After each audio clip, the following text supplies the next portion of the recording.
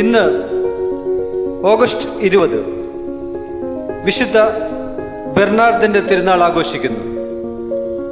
മാർപ്പാപ്പമാരുടെ ഉപദേഷ്ടാവ് രണ്ടാം കുരിശു യുദ്ധം പ്രസംഗിച്ച് സജ്ജമാക്കിയവൻ വിശുദ്ധ ഗ്രന്ഥ പണ്ഡിതൻ വാഗ്മി ദൈവമാതൃഭക്തൻ എന്ന നിലകളിലെല്ലാം പ്രശോഭിച്ചിരുന്ന ക്ലെയർ ബോയിലെ ബെർണാർഡ് ബർഗൻഡറിയിൽ ആയിരത്തി തൊണ്ണൂറ്റി ഒന്നിൽ ജനിച്ചു.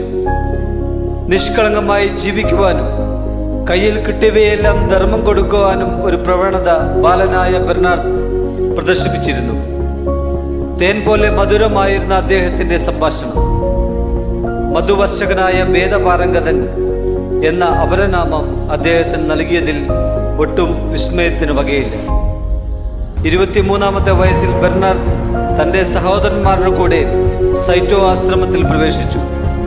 വിശുദ്ധ സ്റ്റീഫനായിരുന്നു അന്നത്തെ ആമ്പാട്ട് ഒരു ദിവസവും ബെർണാർഡ് തന്നോട് തന്നെ ചോദിച്ചിരുന്നു ബെർണാർദേ ബെർണാർദേ നീ എന്തിന് ഇവിടെ വന്നു?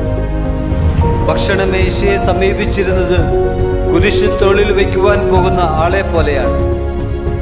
മൂന്ന് വർഷത്തെ ആശ്രമ ജീവിതം കൊണ്ട് ബെർണാർദിലുണ്ടായ ആധ്യാത്മിക അഭിവൃദ്ധി കണ്ടുകൊണ്ട് സംതൃപ്തരായ അധികാരികൾ അദ്ദേഹത്തെ ക്ലെയർവോയിൽ ആരംഭിച്ച പുതിയ ആശ്രമത്തിന്റെ ആപാട്ടായി നിയമിച്ചു. മുപ്പത്തിയേഴ് വർഷം അദ്ദേഹം ആ ജോലിയിൽ തുടർന്നു. ആ കാലഘട്ടത്തിൽ അദ്ദേഹം ജർമ്മനി സ്വീഡൻ അയർലാൻഡ് ഇംഗ്ലണ്ട് മുതലായവ രാജ്യങ്ങളിലായി നൂറ്റി മുപ്പത്തിയാറ് ആശ്രമങ്ങൾ സ്ഥാപിച്ചു. വിശുദ്ധ ബെനഡിക്റ്റിന്റെ നിയമങ്ങൾ ഒന്നുകൂടി പ്രാബല്യത്തിലായി. അതിനാൽ ബെർണാർഡ് ബെനഡിക്റ്റൻ സഭയുടെ ദ്വിതീയ സ്ഥാപകൻ എന്ന പേര് നേടി. അദ്ദേഹം ആരംഭിച്ച സിസ്റ്റേഷ്യൻ സഭയുടെ പ്രസിദ്ധ ശാഖയാണ് ട്രാപ്പിസ്റ്റ് ബെർണാർഡിന്റെ ഒരു ശിഷ്യനാണ് എവോജീനിയസ് തൃതീയൻ പാപ്പ. മാർപ്പാപ്പയായ ശേഷം അദ്ദേഹം ബെർണാർഡിന്റെ ഉപദേശം ആവശ്യപ്പെട്ടിരുന്നു. ഭാരിച്ച ജോലികളുടെ ഇടയിൽ ധ്യാനം മുടക്കരുതെന്നായിരുന്നു ബെർണാർഡിന്റെ പ്രബോധന ഉപദേശം ആശ്രമത്തിലെ ഏകാന്തമാണ് ബെർണാർഡ് ഇഷ്ടപ്പെട്ടിരുന്നതെങ്കിലും അന്നത്തെ തർക്കങ്ങളിലെല്ലാം അദ്ദേഹം ഇടപെട്ടിട്ട് വന്നിരുന്നു രണ്ടാമത്തെ കുരിശുയുദ്ധം പ്രസംഗിക്കുവാൻ മാർപ്പാപ്പ ബെർണാർദയോട് ആവശ്യപ്പെട്ടു.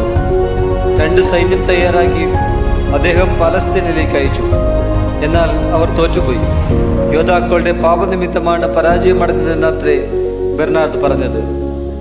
അസാധാരണമായിരുന്ന ബെർണാർദിന്റെ ദൈവമാതൃഭക്തി പരിശുദ്ധരാജ്ഞി എന്ന ജപമാലയിലെ അവസാന വാക്യവും എത്രയും ദയുള്ള മാതാവി എന്ന ജപവും ബെർണാർഡ് എഴുതിയതാണ്.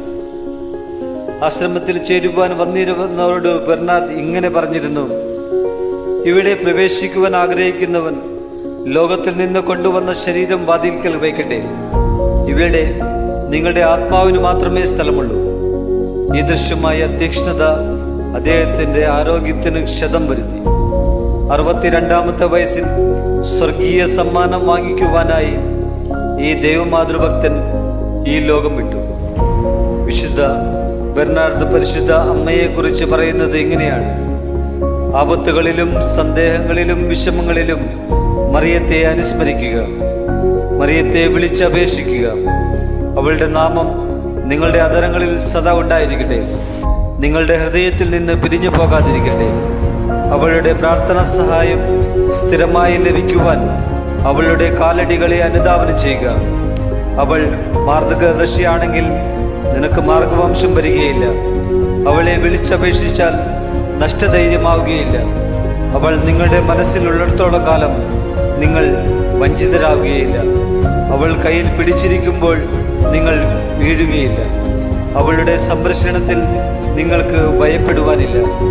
അവൾ മുമ്പേ നടക്കുന്നുണ്ടെങ്കിൽ നിങ്ങൾ ക്ഷീണിക്കുകയില്ല. അവൾ അനുകൂലിക്കുകയാണെങ്കിൽ നിങ്ങൾ ലക്ഷ്യത്തിലെത്തും. ഈ വിശുദ്ധിന്റെ തിരുനാൾ ആഘോഷിക്കുന്ന ദിവസം ദൈവമാതൃഭക്തിയിൽ വളരുവാൻ വേണ്ട കൃപയ്ക്ക് വേണ്ടി ഈ വിശുദ്ധന മധ്യസ്ഥം തേടി നമുക്കും പ്രാർത്ഥിക്കാം.